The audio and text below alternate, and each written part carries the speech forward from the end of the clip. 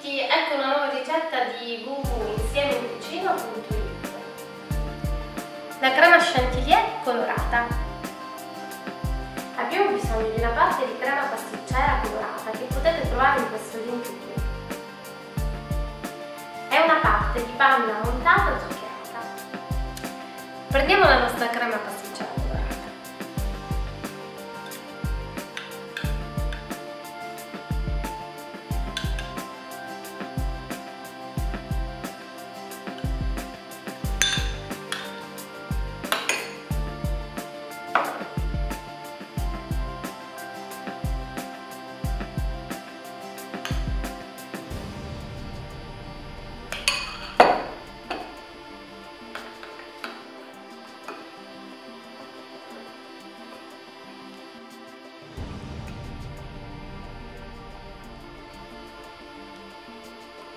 Girate dal basso verso l'alto, altrimenti la panna si smonta.